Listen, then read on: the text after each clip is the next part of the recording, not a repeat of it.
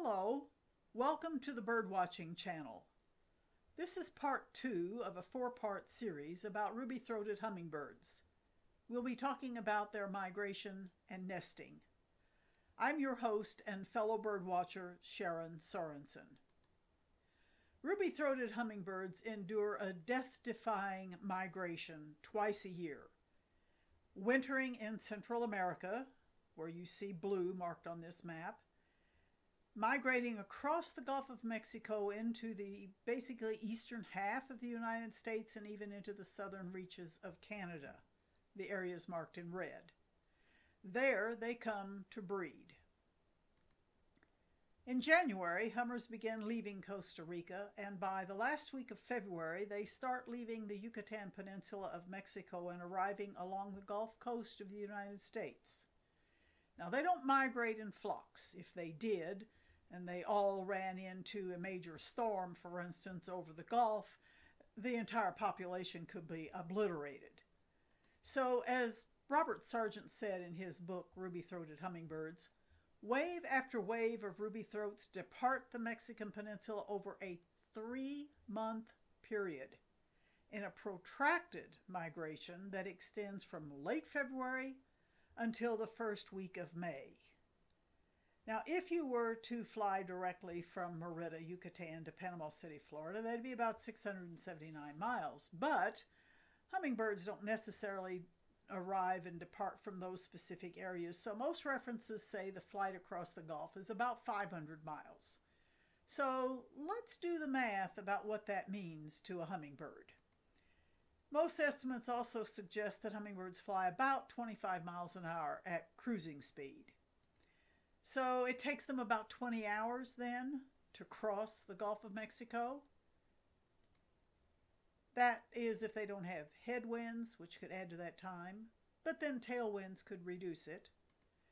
And they beat their wings about 70 times per second, and so 60 seconds in a minute, 4,200 wing beats per minute, 3,600 seconds in an hour, so 252,000 wing beats per hour, 72,000 seconds in 20 hours, 5,040,000 wing beats to cross the Gulf.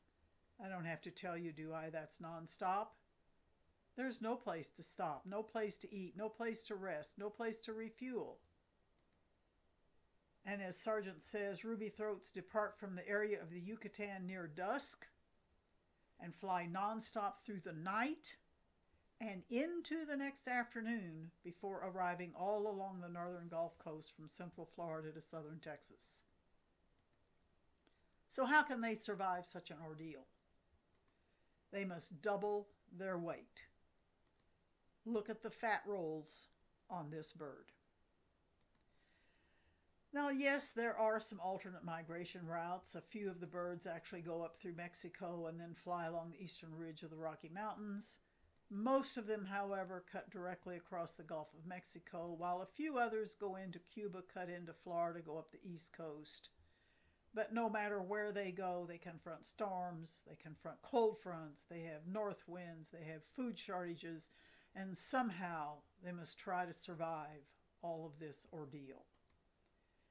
Ironically, though, in spite of the ordeals that they face, the first birds to arrive on the coast arrive almost every year within a few days that last week of February. Now, again, this isn't all of them. These are the first to arrive. By the time they refuel, fatten up a little bit, recover from their flight, and move on, by the time they get to northern Kentucky and southern Indiana, we're looking at early to mid-April. The males arrive first, and they often return to the same area. They look for a territory of up to 20 square yards, maybe even an acre and that all depends, of course, on the food supply.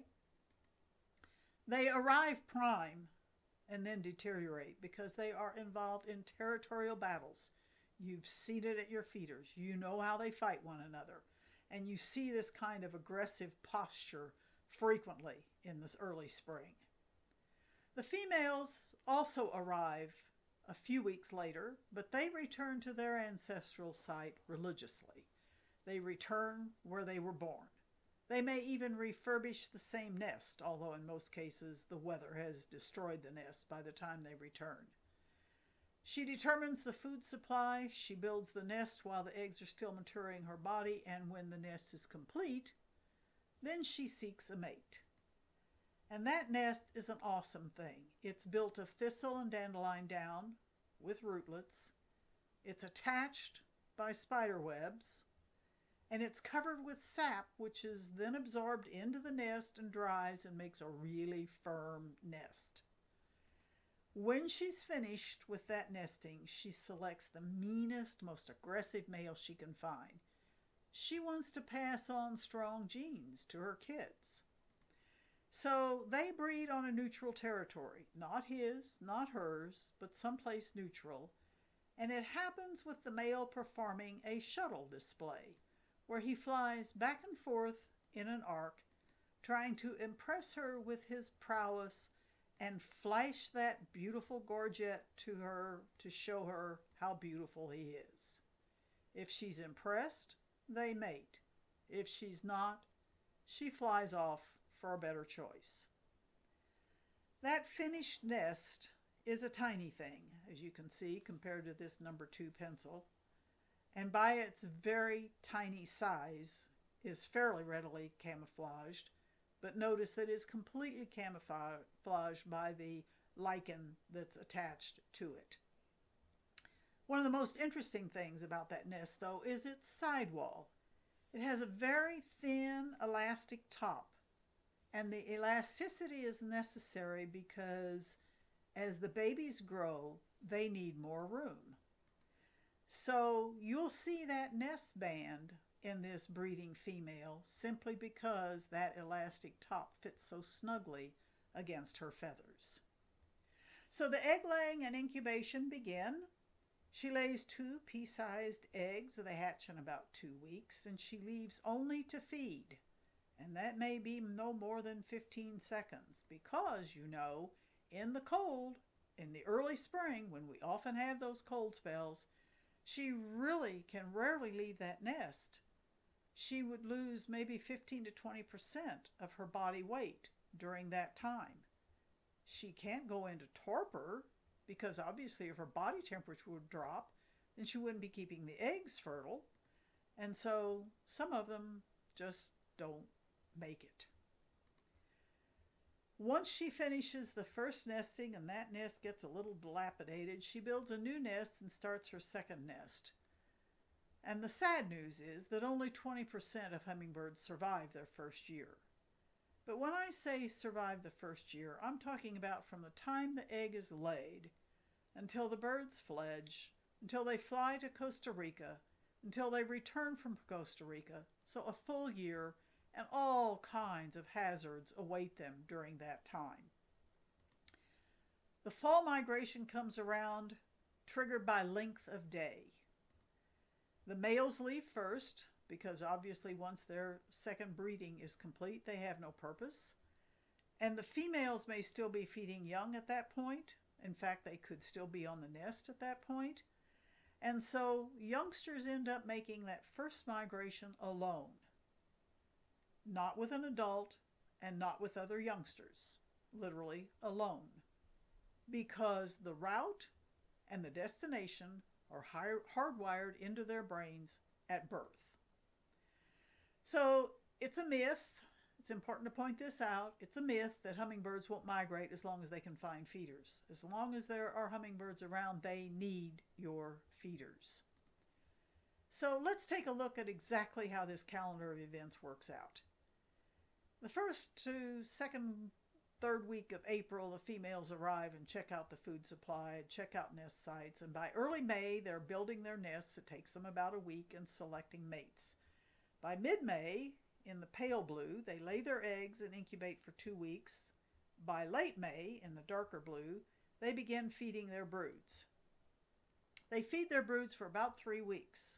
So by the end of June, they feed their fledglings and build new nests and find mates. And it's at this point when the fledglings first, the first brood of fledglings leave the nest that you start seeing more uh, birds at your feeders. By the first part of July, she's incubating her second brood and begins feeding those uh, brood, that brood at the end of July. By early August, the second broods fledge, and so you start seeing another uptick of birds at your feeders. So they feed those fledglings, the females feed those fledglings another week or so, and then they start eating. And the migrants start moving through. By September, it's peak migration time. Everyone is at the feeders the first broods, the second broods, moms and dads, although many of the dads, of course, have already gone by this time. The first brood migrants, the migrating adults that have come down from, say, the southern parts of Canada and so it's crazy busy at the feeders. This is the peak time for hummingbird feeders. With few exceptions, as Bob Sargent says, starting in mid July, all of the birds seen at feeders one day are gone the next, replaced by new birds. Banding studies indicate, for instance, that a large number of migrant ruby throats pass through the same yards on the same day, year after year, with staggering numbers in August and September. And that's an incredible fact, indicates how clearly their clock works, how careful the timing is, always governed by length of day. So then obviously the juveniles are the last to leave. Not only do they know when to leave and what direction to head, they apparently recognize their winter grounds when they arrive there. That's all hardwired into their brains as handed down from the DNA from their parents. So, what we need to do in case there are any late lingering hummingbirds is keep our feeders out until Christmas. Youngsters who have not quite found their way yet or who have not quite developed the strength to leave are going to be the last ones through, and they're going to be the ones most desperate for food. And sure, if it ices up, then you have to bring your feeders in to get them from, uh, keep them from being broken. But hey, this picture was taken December 6th in southern Indiana, and there's no question that's a hummingbird. So they do come through. We don't necessarily see them, but they do need us. And this is on the advice of the non game bird biologists with the DNR in Indiana. So I hope you've enjoyed this section on migration and nesting about the ruby-throated hummingbirds. And I hope you'll stay tuned for the part three about threats and predators. And part four then will be about attracting hummingbirds to your feeders. So meanwhile, I hope you enjoy lots of hummingbirds in your feeders and in your yard. And may you always have birds in your binoculars.